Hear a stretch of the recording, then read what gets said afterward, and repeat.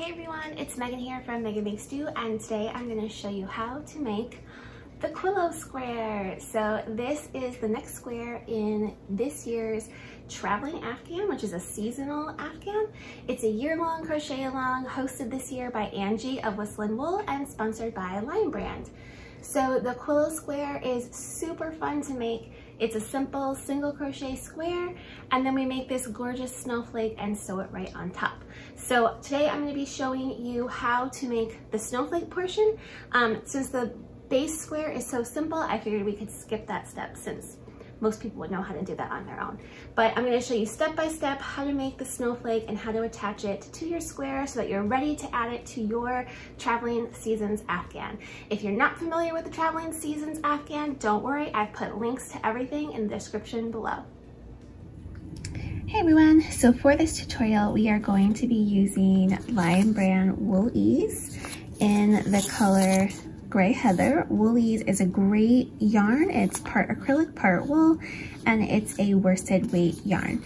We are also going to be using a size J crochet hook. I am using a Furls Streamline hook for mine. Um, so as long as you have a six millimeter crochet hook, you'll be all set to go. So this square, the Quilo square, is made in two parts. So this is the first part. It's just a simple single crochet stitch square. Um, you can see the ends are gonna wanna curl on you a little bit, so I do recommend before we get to the final section, blocking your square to the 13 by 13 dimensions that you need. I am not going to show you how to do this part of the square since it's just so simple. It's just chaining and then single crochet and each stitch across for 53 rows. Um, again, make sure that you check your gauge before you get started and you get the same gauge that I have.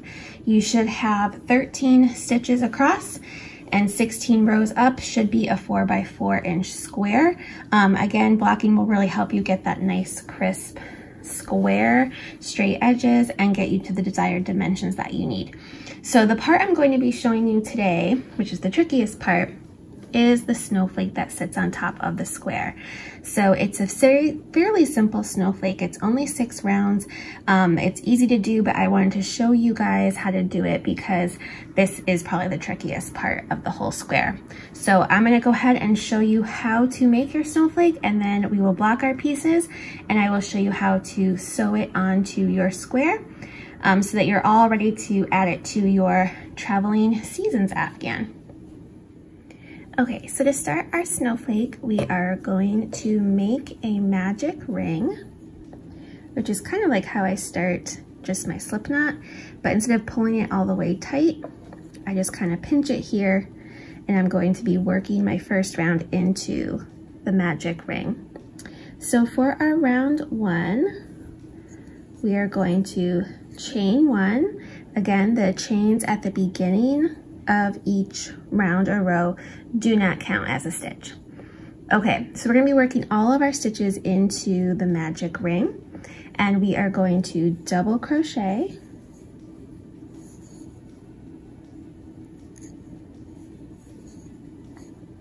chain two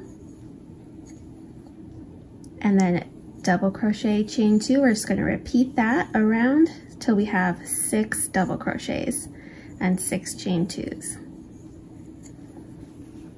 And again, you're always going to be working into the magic ring. Make sure you're going over both strands of yarn. Oops, missed one. Double crochet,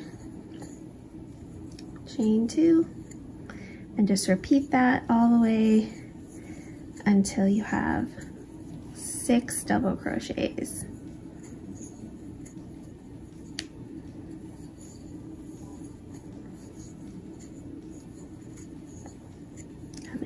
Have one, two, three, four, five. All right, last double crochet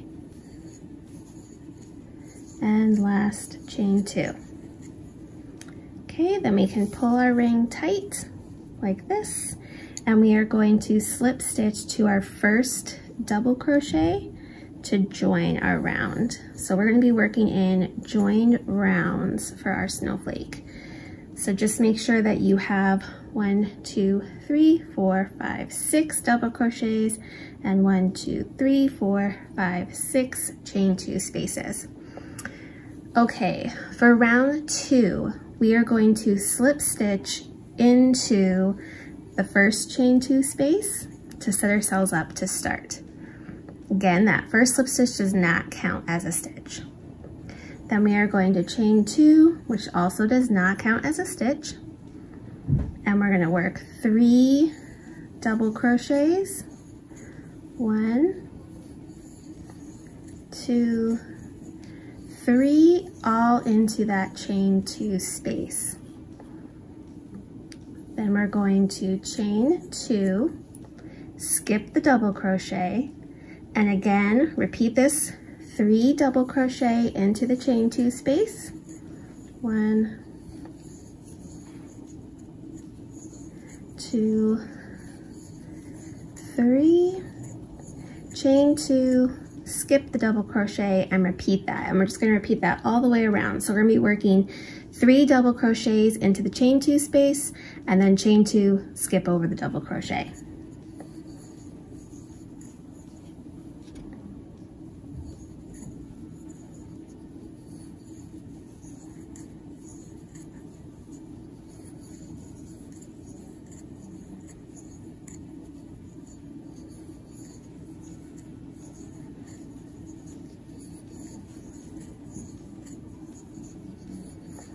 Then I will pop up um, stitch counts for the end of each row right here. Just know that I also include the chain twos in my stitch counts.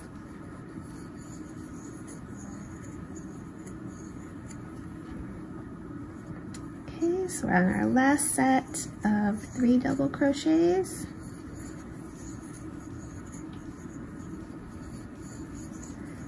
and then we will chain two.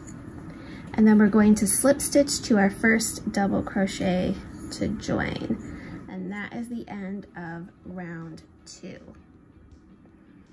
So you'll have 30 stitches total for this round. Okay so for round three we slip stitched into the first double crochet at the end of round two. So we're going to chain one and instead of working into that first double crochet, we're gonna start our work in the second double crochet. So this next one. And we're gonna work two double crochet, one, two, a chain two, and then another two double crochet all into that first double crochet stitch that we're working into. So you'll have two double crochet, a chain two, and two double crochet all into one stitch. Then we're going to chain one, and we're going to single crochet into the chain two space. So we're gonna skip this double crochet and single crochet into the chain two space. Then we're going to chain one, skip one double crochet, and then repeat that over again. So two double crochet. One, two, chain two, and then another two double crochet. All in that one stitch. And then repeats again. We are going to chain one single crochet into the chain two space chain one skip over that next double crochet and work two double crochets. Chain two two double crochet. And all that goes into one stitch. Whoa my yarn got caught. There we go our last double crochet. And then again chain one, skip over this double crochet, work one single crochet into the chain two space, chain one, skip the double crochet, and work two double crochets, chain two, two double crochets, all into one stitch. And so you can see that we're starting to get more of like a star shape going here. Um, so I'm just gonna repeat that and continue all the way around.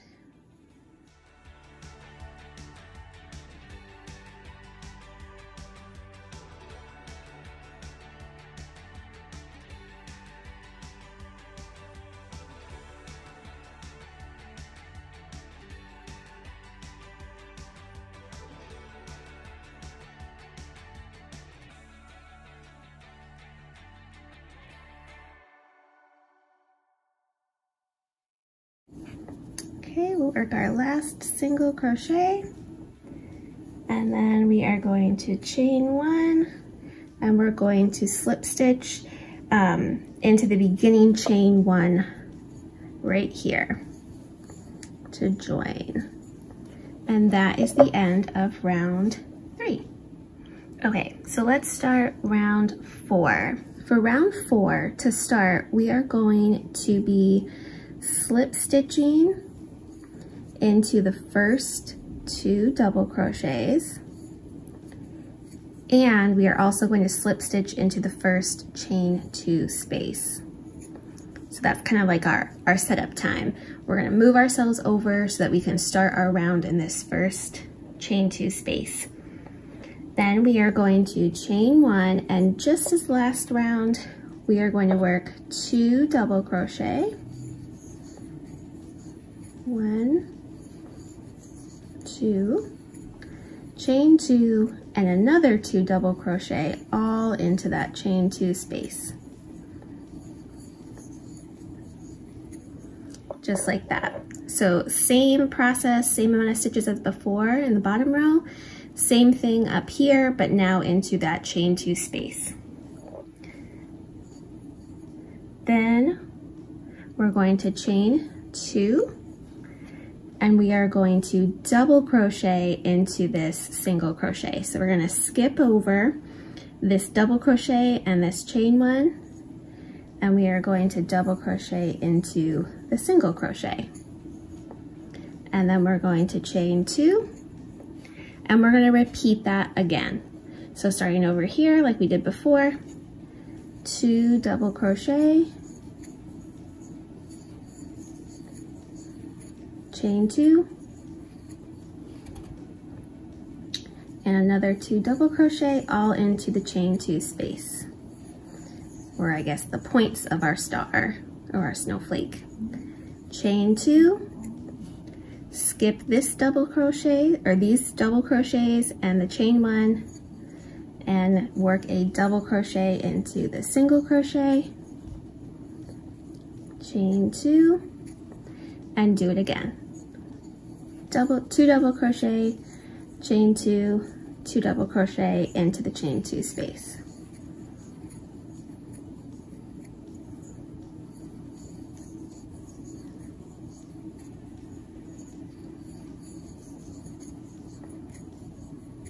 And you're just going to keep repeating that section all the way around until you get back where you started.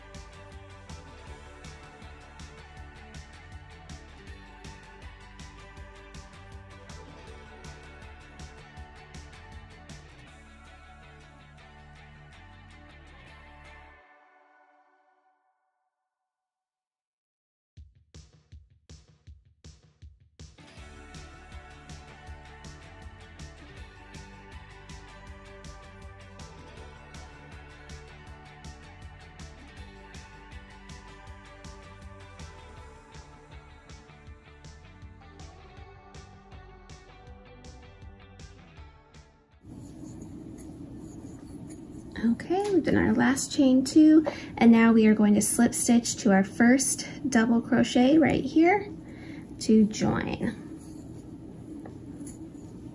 And that is the end of round four. So you can see that our snowflake is starting to take shape. It's gonna look pretty much like a little star for a while until we get to our last round. Okay, so for round five, we're gonna be doing pretty much the same thing right here in the points, and then we're gonna do something a little bit different right here in the inside part. So we are going to slip stitch into the first double crochet and into the chain two space so that we're ready to start round five. Then we're going to chain one, and just like we did in the last two rounds, we are going to double crochet or two double crochet chain two,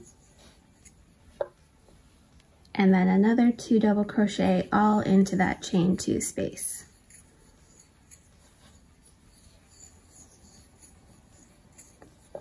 So you can see, just as before, same kind of thing. Now we are going to chain two, and we are going to skip over these two double crochet, and we are going to work a single crochet into the chain two space, chain one, skip over the double crochet, and work a single crochet into the next chain two space. Chain two again, skip these two double crochet, and repeat this sequence again. So two double crochet, chain two, and another two double crochet all into that chain two space. Chain two, skip these two double crochet and work a single crochet into the chain two space. Chain one, skip the double crochet, single crochet into that next chain two space, and then chain two, skip these two double crochet and repeat it again. So I'm gonna do this all the way around.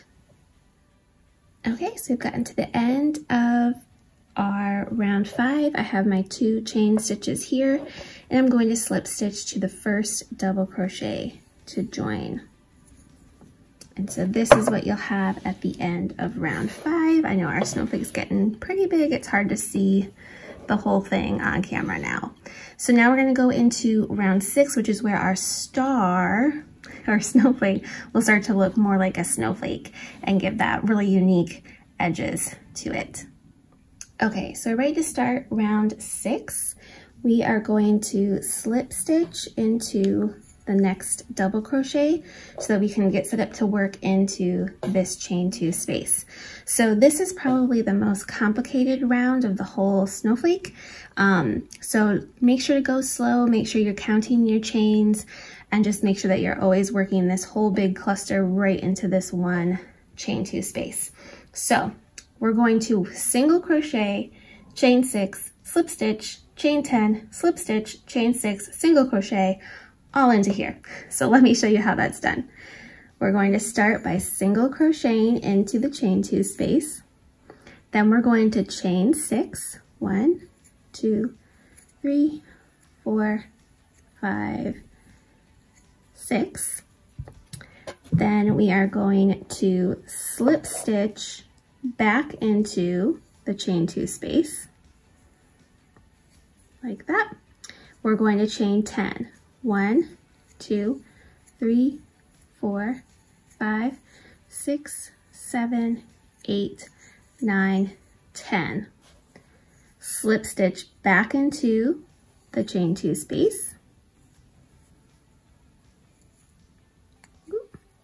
Chain six, one, two, three, four, five, six, and end this little cluster with a single crochet into that chain two space. Okay, so this is what that will look like. We're giving our snowflake these little chain loops at the end to kind of give it more of that snowflake feel instead of the star. Okay, from there, we are going to chain four. One, oops, two, three, four we are going to skip these two double crochet and this chain two and the single crochet. We're gonna go right down into this chain one space and we're going to single crochet, chain three, one, two, three, and single crochet right back into that chain one space, just like that. So we're creating same kind of idea here with the little loops, but just a smaller one right here. Then we're going to chain four, one, two, three, four. We're gonna skip the single crochet, skip the chain two, skip the two double crochets here, and work and start our next repeat right here in this chain two space. Okay, so we're gonna do the same thing that we did over here, but now we're gonna do it in here. So I'll show you this one more time. We're going to start with a single crochet.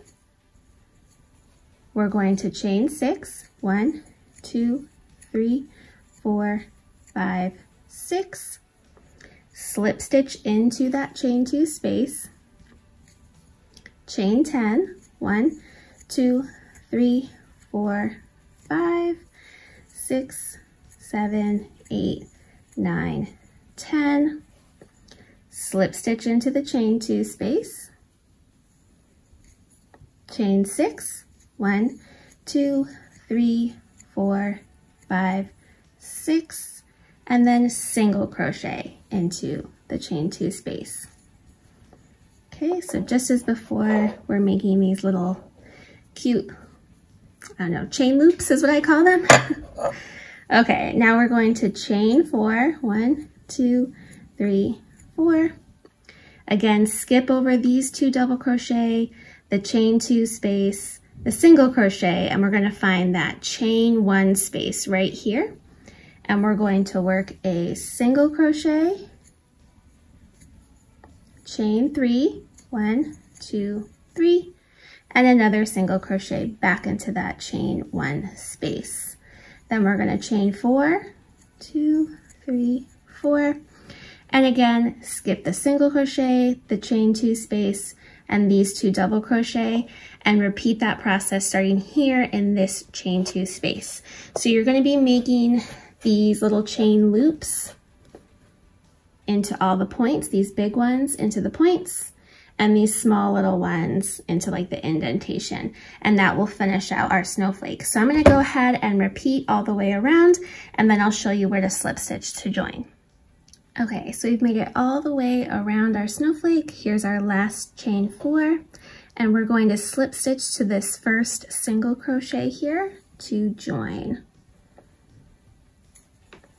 And then you can either fasten off or you can just pull whatever you have left. You're only gonna have pretty much like a small little ball of yarn left. Um, but we wanna leave a long tail to help us sew our snowflake down onto our square. So what I re recommend doing from here is to lay out your snowflake on a blocking mat or a towel. Um, you know, you can wet it down, you can spray it down with water. Same with your finished square. You want to block these. I recommend blocking them before you sew them together. So I'm gonna go ahead and put mine on the blocking mats, let those dry, and then I'll meet you back here and I'll show you how to seam them together. Okay, so I have blocked my snowflake and my square and I'm ready to sew the snowflake to the square. So um, my snowflake is about five rows down from the top, like the very tip of the loop, um, and five rows up from the bottom. So I've got five rows on either um, tip of like the very center loop on the edge of my snowflake. And then here at these top ones, I'm about six to seven stitches in from the edge. Um, so I try to make it as even as possible. This is not an exact science when it comes to sewing this on, so I'm gonna show how I'm gonna do it, um, but you kind of just have to use whatever method works best for you. So I'm gonna grab some pins and kind of try to like pin it in place. Um, you can use safety pins, you can use straight pins, or you can also use stitch markers if you'd like anything that um, you have on hand or whatever you feel most comfortable with. So I'm gonna grab my pins and we're gonna pin it in place. Okay, so I also, um, before we put it in place, I took this like beginning tail here and brought it up through the center because I'm actually gonna stitch the center first using this little tail. Um, but then I'm just going to kind of, uh, maybe start over here. Pin it down. If I can get these chain loops down, that will help. So at least I know where each point of my snowflake should be. Um, I'm using straight pins. That's what I tend to use the most. Um, you just need to be cautious if you use straight pins that they do have a sharp point at the end. So be mindful of that when you're sewing.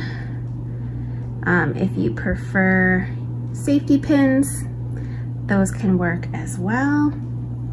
I think I might try to pin them down here as well. So I'm gonna get some pins in place here so at least I have, whoop, did that one go all the way through? Okay, there we go.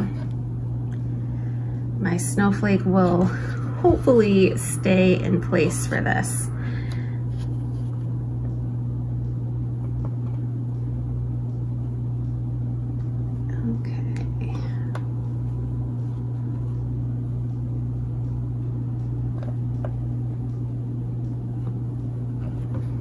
Okay, so I've got some pins in place just to hold it. And then for this center part, you can see we've got our six double crochet here. I'm just gonna go from the center through in between these double crochet and then pull it down and then go up through the center again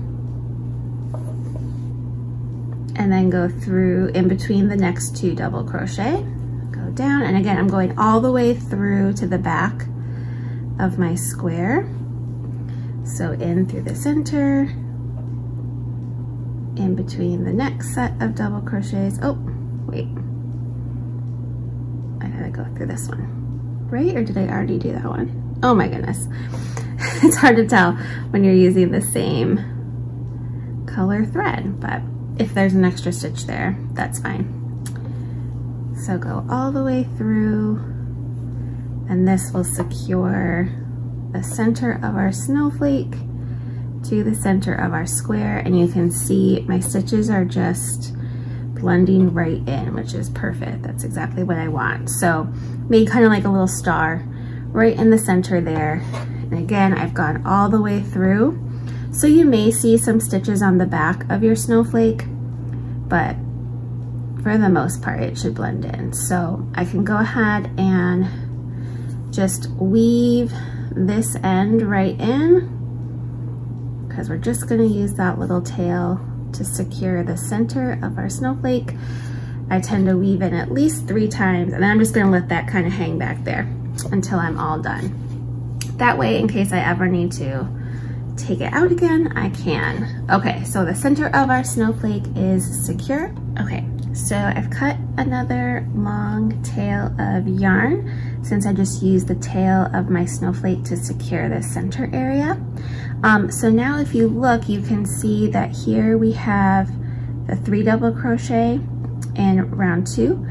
Um, and then we've got our spaces here with the two double crochet on either side. So what I'm gonna do is I'm gonna kind of sew all the way up, radiating out from the center. Um, so, I'm going to bring my yarn again up through the center of the snowflake. I'm gonna leave a little bit of a tail here for weaving in again. Okay. And then I'm going to go down into the snowflake and just kind of like weave it in the stitches of the square like this. So I'm not going all the way to the back. I'm just weaving it up and then going down into that third, that center double crochet of row two. And that I'm gonna pull all the way back to the back of my square. And then kind of go up at the top um, of that double crochet. And then over this area here. And then again, going through the stitches of the square.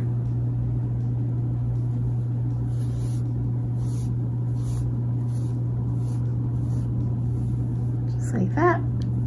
And then over and down into the center, like to the back of my square.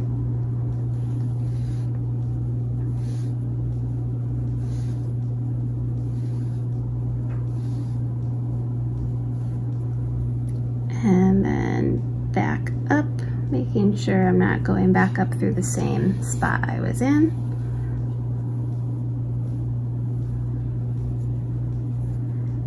Then I can weave a little bit farther into the square stitches.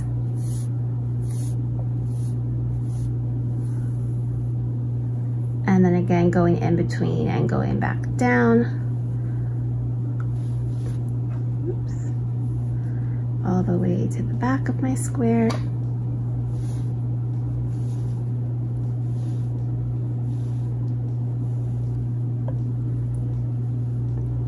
And then coming back up a little bit higher.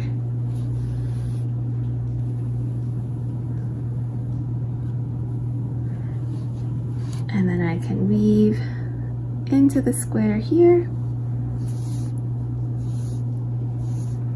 and I've gotten to the first point of my snowflake. So I'm gonna go around this chain here.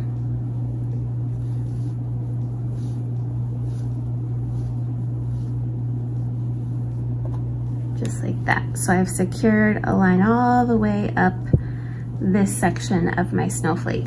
So then it's up to you if you want these chain loops to kind of like just hang out or if you want to secure them down. Um, I think I'm going to secure mine down. So I'm going to bring my yarn back up and then weave it through the square rows to the point.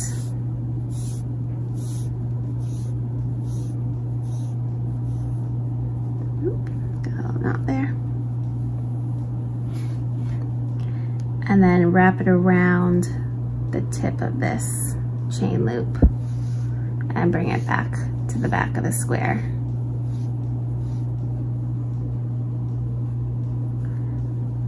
To kind of hold it in place so it's not going all over the place or getting picked up by there's going to be a couple loose areas along the snowflake, but hopefully it won't get too snagged on anything when you're using your blanket. Um, so then I'm just gonna kind of repeat that process going from the center out all the way along. Um, if you want to, you can go from here and kind of weave through and attach a little thing here just to make sure that this part of the snowflake is getting attached as well. But you'll just kind of continue doing that. So maybe go over here, attach up here, and then come back down, um, and then go back up however you want to do it, kind of like zigzagging throughout your snowflake, just as long as it's totally secure and not going to fall off of your square. Um, so I'm going to go ahead and finish seaming and sewing mine onto my square. So here is what your Quilo square will look like when it's all done and attached to your base square. And then you can easily sew it on to the rest of the traveling Afghan. I hope that you enjoy this tutorial and I hope that you will give the Quilo square a try. Um, if you're looking for all the rest of the squares for this traveling seasons Afghan, you can find a link to my blog post with all the details in the description below. Don't forget to like and subscribe.